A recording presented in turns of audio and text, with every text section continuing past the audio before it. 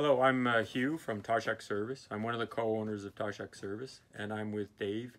Dave is uh, one of our lead service technicians.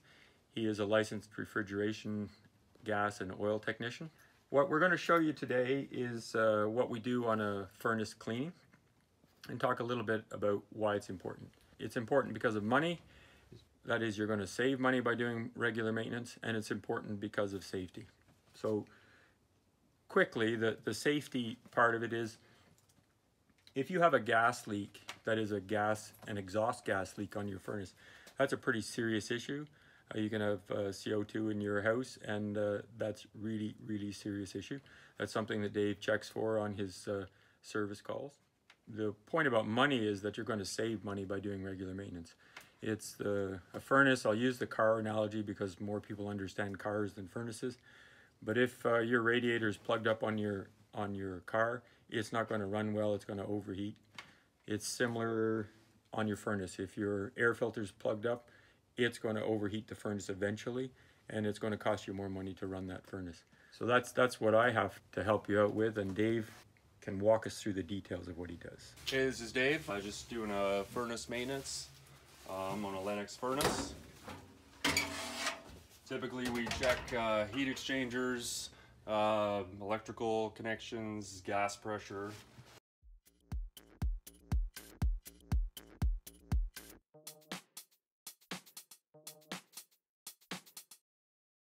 So first off, on a typical furnace maintenance, I'm going to pull the flame rod on it and clean that up.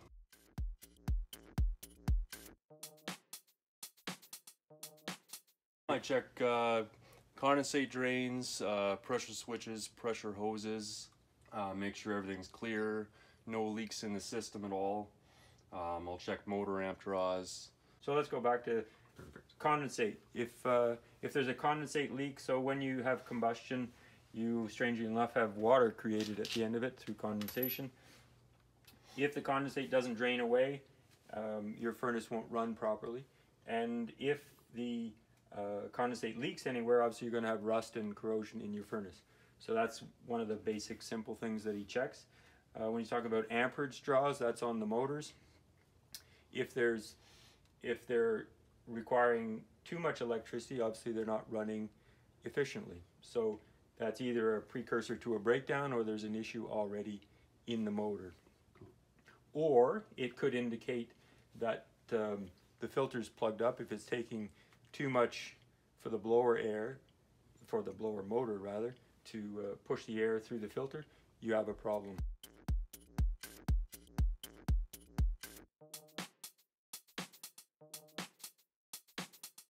Uh, when I'm doing furnace maintenances, I always check the air filter. Um, uh, we'll pull this one out and check it. This one is extremely dirty.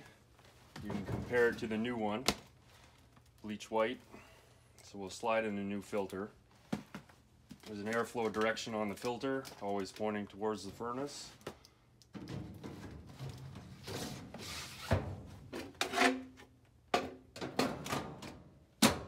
A dirty air filter will cause the furnace to overheat. Uh, blower motors will draw more, more amperage, uh, use more hydro. Um, it also can wear out the heat exchanger inside, a constant heat cool. Um, and then with your air conditioning, it'll cause the coil inside, the evaporator coil to freeze up if the air filter gets plugged. Okay. To prevent costly uh, repairs when it's negative 30 degrees out, nobody likes having a cold house. It's a good idea to get your furnace looked at um, in the summer. Um, check it all out so we can uh, address any problems before they become major issues.